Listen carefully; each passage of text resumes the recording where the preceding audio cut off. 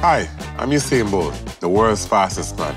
When I'm not winning gold medals, I like to craft. Yeah, that's right. Glitter, glue, paper, chains, stickers, you name it, I craft it. In fact, I have a gold medal in crafting, which is good because gold is my favorite glitter. When I'm crafting, I like to find materials online, like this great stuff on the Epson website. There's everything from origami to coloring pages. Today, I'm gonna do some coloring because that's what Olympians do.